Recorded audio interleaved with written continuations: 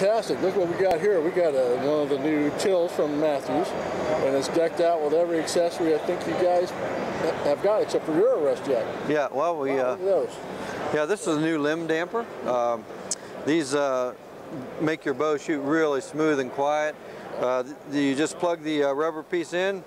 This thing locks, interlocks into the rubber section down here. All you do is pop it in there, and uh, it's good to go. Wow. Very neat. smooth, very quiet.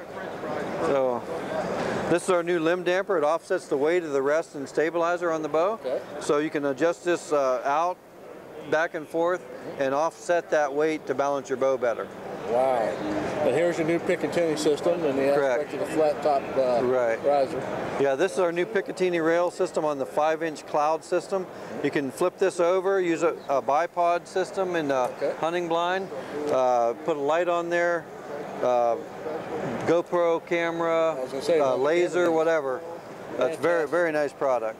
Well, I appreciate your time. I don't want to see that get all Yeah. damaged. Yep. all twisted up and Yep. Sure thing. My goodness.